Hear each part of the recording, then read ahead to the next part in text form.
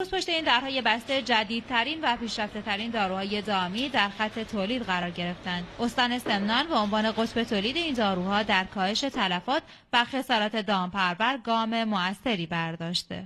بیش از چهل درصد از نیاز کشور رو داره برآورده می‌کنه ظرفیت تولید ما در بخش پوچ حدود چهار هزار تن در سال در بخش مایع حدود هفت هزار لیتر در سال و در بخش تولید ویال های تزریقی بالغ بر 6 میلیون ویال تزریقی در سال هست.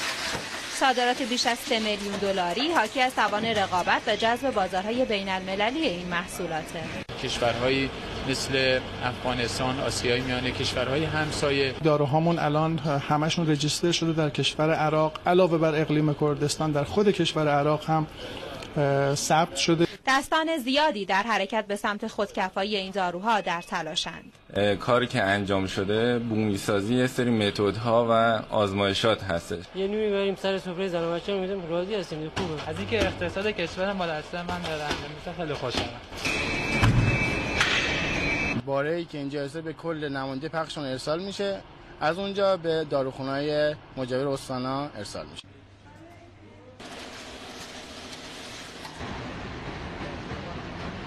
90 درصد داروهای موجود داروخانه ما تولید داخل با بهرهمندی از بومیسازی دانش تکنولوژی ساخت هفت قلم از داروهای دامی منحصرا در این استان قرار گرفته. ارتباط مستقیم داروهای دامی با مواد غذایی مردم نقش تاثیرگذاری در سلامت جامعه ایفا می‌کند.